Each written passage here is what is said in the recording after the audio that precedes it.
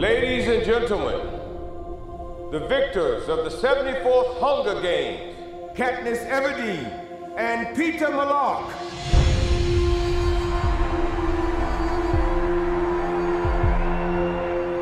She's not who they think she is. She just wants to save her skin. Simple as that. She has become a beacon of hope for them. So she has to be eliminated. What do you think? I agree she should die, but in the right way, at the right time. Katniss Everdeen is a symbol. You don't have to destroy her, just her image. Show them that she is one of us now.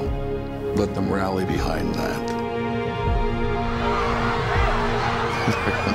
They're gonna hate her so much, they might just kill her for you.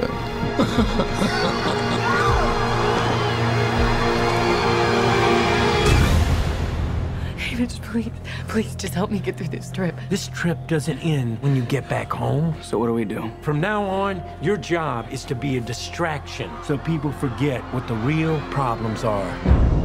Chins up, smiles on. There she is, Katniss Everdeen, the girl on fire. People are looking at you, Katniss. You've given them an opportunity. They just have to be brave enough to take it. You saved my life. You gave me a chance. Yes, to live. No, to do something. We have to go, Gale, before they kill us. They will kill us. No.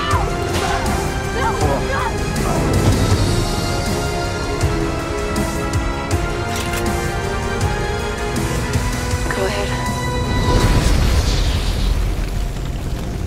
Her entire species must be eradicated.